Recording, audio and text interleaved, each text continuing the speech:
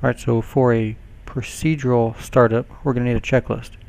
I'm using the normal procedures uh, from the P51D Mustang flight manual, and I'm starting on page 118. As soon as you enter the cockpit, make sure the ignition switch is off, which we can see here. And the mixture control is at idle cutoff, right there. Both set. Working from left to right, fuselage fuel. Check the gauge on top of the fuselage tank behind the pilot seat, left side. And I look full at about 80 gallons. Check. Flap handle up.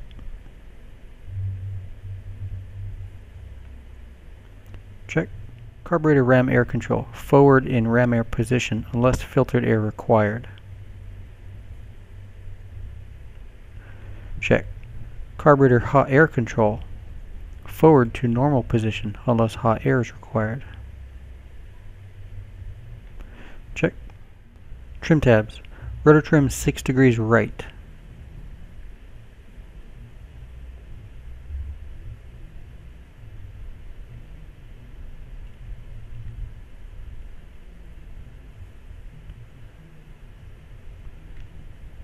Set.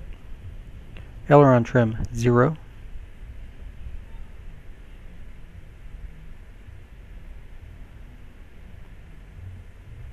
Set.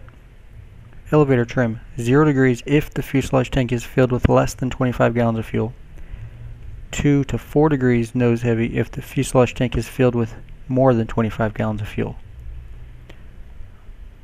I'm at 80, so I'm going to need to go forward.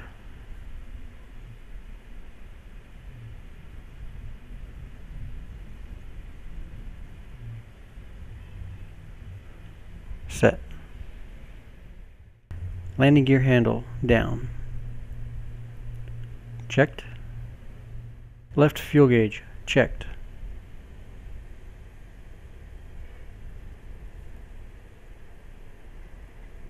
You can see left wing is full. Checked. Mixture control set to idle cutoff.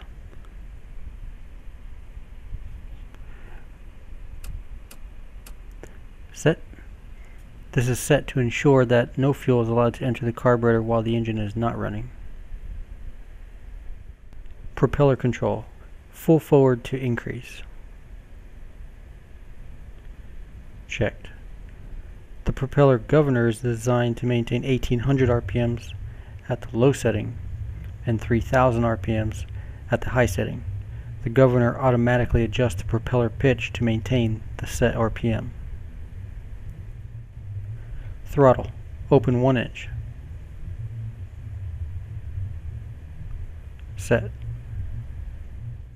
Gun sight gyro selector switch set to fixed. Checked. Gun sight gyro motor switch on. Set. Armament switches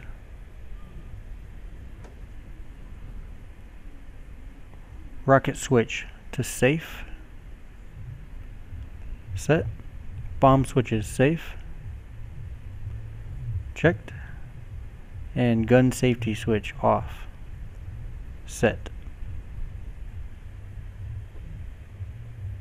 Altimeter. 0 or set to field elevation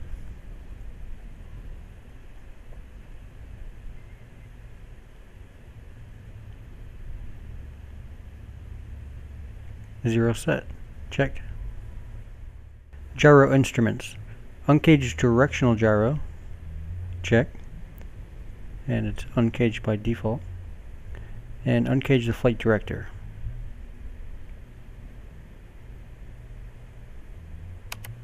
Check. Controls. Check the stick and rudder controls to ensure they operate without binding. Watch the control surfaces for correct response.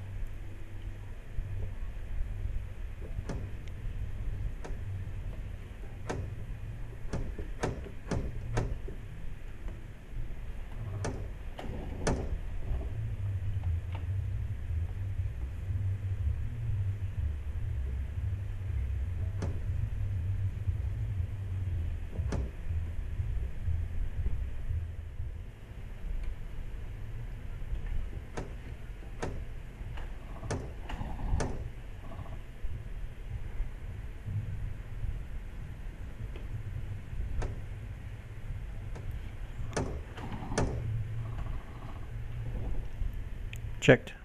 Brakes. Set. Don't try to hold the aircraft with foot brakes. Set. Supercharger. Auto set. Right here we've got a three position switch. All the way down is auto. Then you've got your low and high. All the way down is auto. Set. Fuel shutoff valve set to on. Set. The fuel shutoff valve controls fuel flow from all fuel tanks to the engine-driven fuel pump.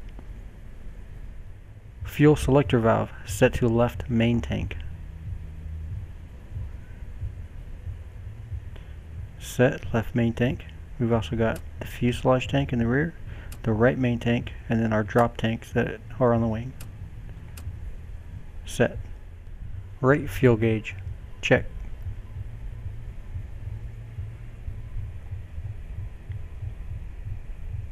And that one's also full. Check. Okay, now I'm going to ask ground crew for ground power. Chief, turn on the ground power. Copy. Ground power is now on.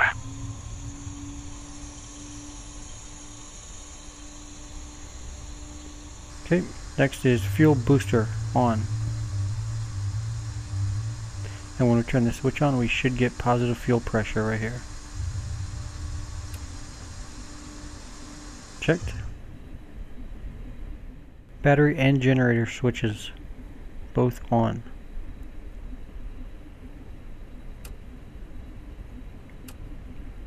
Set. Coolant and oil radiator flap control switches. Operate manually from closed to open and check by listening to determine whether the doors are operating. Maintain both flap doors fully open while running the engine on the ground. Flap doors will be set to automatic before takeoff.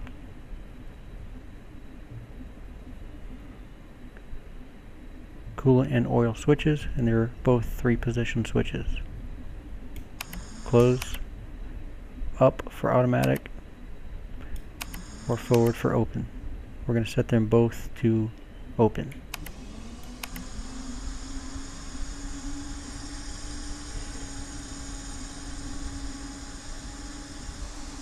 And you can hear them opening.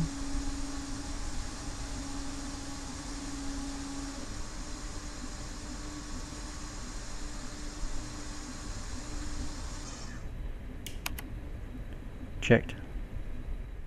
Looking at it from the external view, we can see the radiator door opening.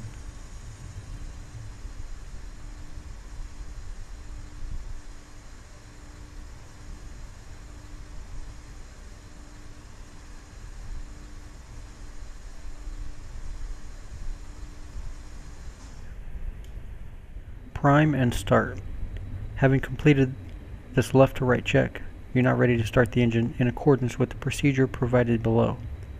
Prior to doing so, the following items need to be checked, depending on the mission. Before any flight, check the landing gear warning lights by pushing on the lamp housing.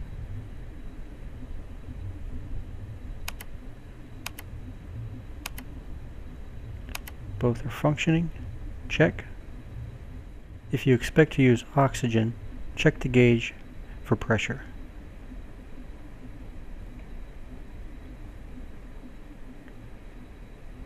Check. If night flying is anticipated, check all essential lights, instrument fluorescent lights, cockpit swivel lights, position and recognition lights, and landing lights.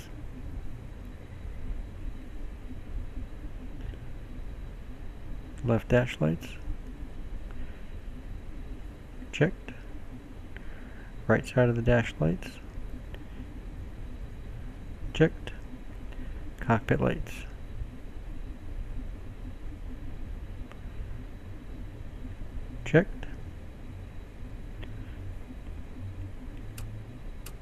three recognition lights and our tail and wingtip lights.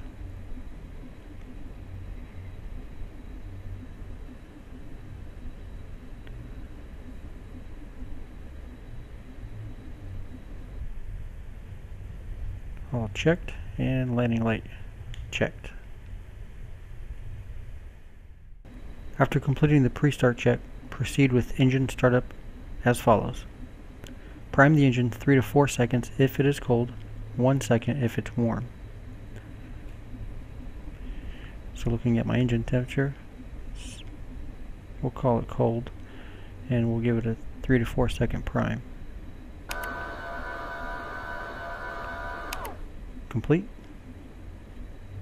Raise the starter switch cover and hold the switch up in the start position to operate the starter and begin turning the engine. After six propeller blades have rotated past the canopy, set the ignition switch to both while continuing to operate the starter. As the engine starts, move the mixture control knob to run and release the starter switch. If the engine fails to take hold after several revolutions, give it one second more prime. Okay, we are ready to start.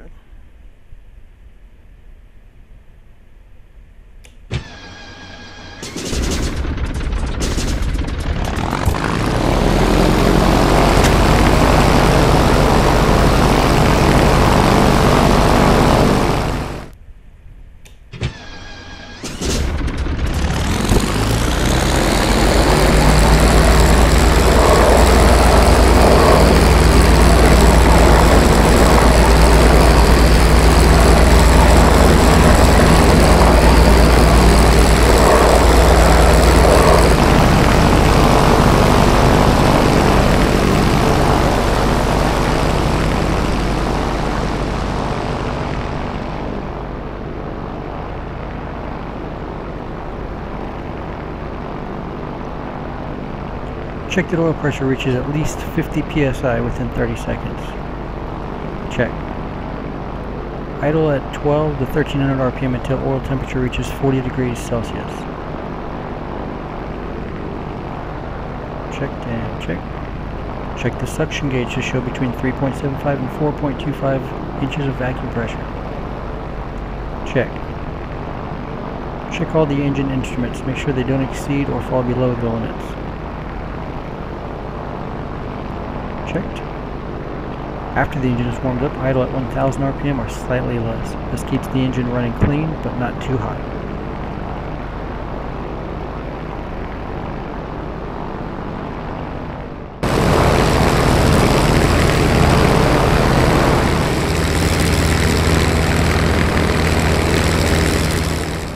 Okay, looks like we're all warmed up. Over 40 degrees C. Now we're going to bring the down to 1,000.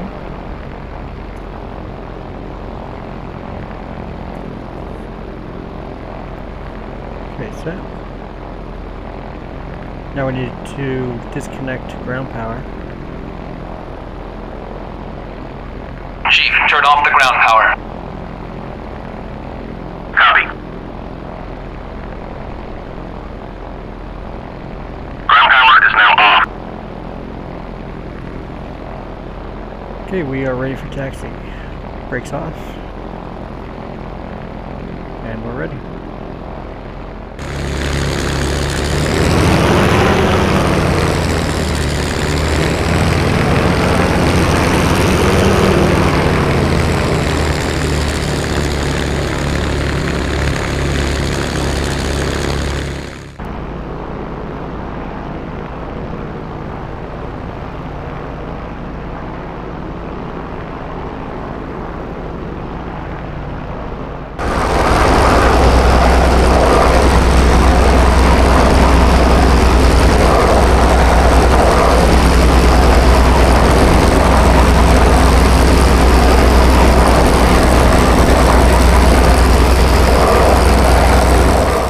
Prior to takeoff, perform the following pre-flight check.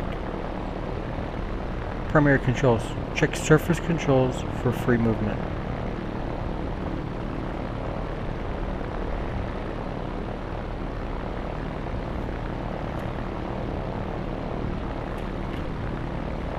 Check. Instruments and switches. Altimeter set. Set. Directional gyro. Set. Check. Flight indicator. Set. Set. All instrument readings and desired ranges.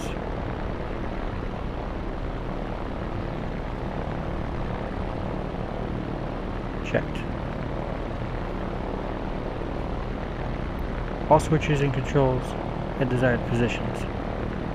And we'll reset the G meter. Check. Fuel system. Check fuel tank selector handle set to main tank. Check. Fuel booster pump switch set to on. Check. Primer switch set to off. Check. Flaps. Flap set for takeoff.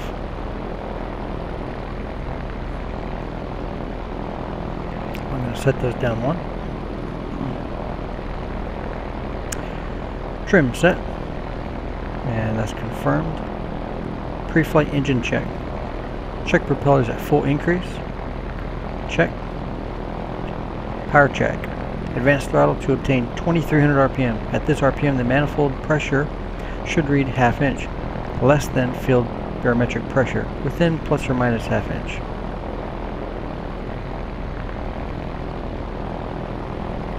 Okay, 2300.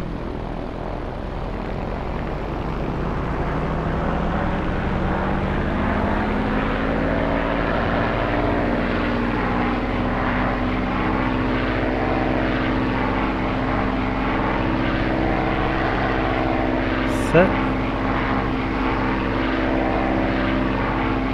Okay, good checks. Now we're going to do the ignition system check.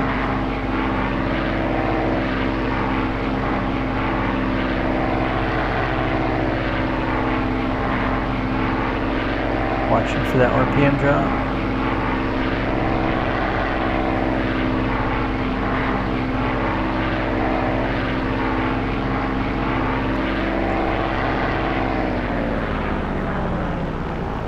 Alright, good mag checks.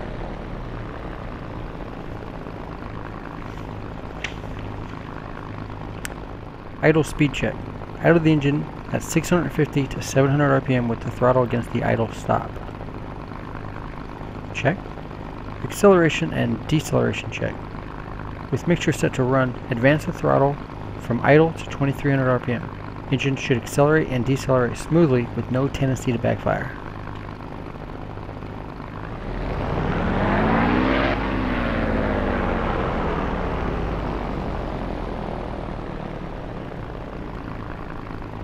Check. Carburetor ram air control level set to ram air. Check. Control set to run. Check. Supercharger control switch set to auto. Check. Oil and coolant radiator air control switches set to automatic. Set. Pitot heat switch on. Set. Alright, we are ready for takeoff. Let's contact tower. Blue Data, Colt 1-1, request takeoff.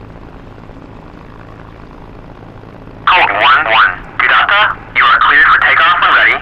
Climb 300 at QFE 29.66. Alright.